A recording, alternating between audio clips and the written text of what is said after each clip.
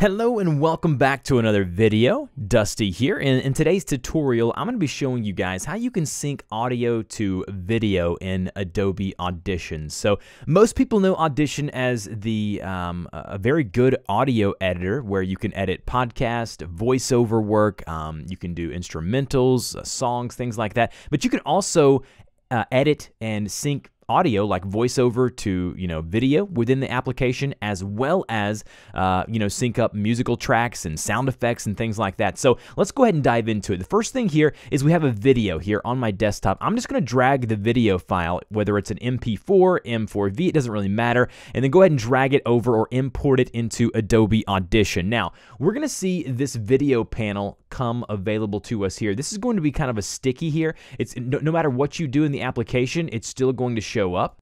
All right, so if I actually play through the audio here, so if I go here and press play, you're going to be able to see that this video that you see here in the video panel is going to be synced up with this audio. Now, what I'm going to be showing you today is how to go into, say, multi-track um, settings here within Adobe Audition and how to sync up your audio to a video if it isn't already synced up. So if we go here and we go to File, New, Multi-Track Session, and then we create a new multi-track session, and then we go ahead and drag that video file into our multi-track session you're going to now see there is a video reference track above track number one. Um, and so what that allows you to do is as I am playing through with the video, I'm going to go ahead and decrease my volume a little bit. As I go, go ahead and play through the video here, you can see that video is synced up. Now let's just say you brought in some audio and you have a video here. So what you would need to do is drag the video in over here without any audio, and then you'll have the separate audio track. Okay, now what is this blue line that you're seeing here? The blue line is exactly where the video is at the time. So if we drag this blue line over, as you can see here, we're going to drag the blue line over. You can see here, boom, it starts to kind of move with the audio. Now, if we play it back from here, you're going to see it's not going to be synced up.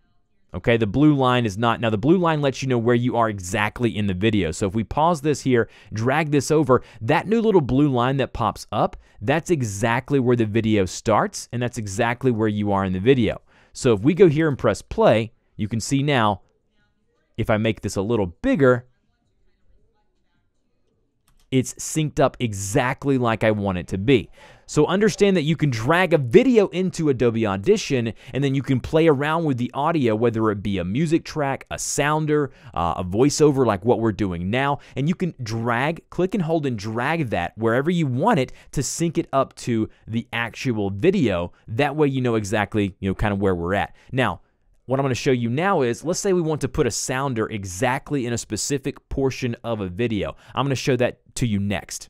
All right, so I now have imported a music track or a music bed into the, the audition file here in the multi-track editor. I still have my video pulled up. Now, as you can see here, if I go on the timeline, I'm able to see exactly where I am in the video.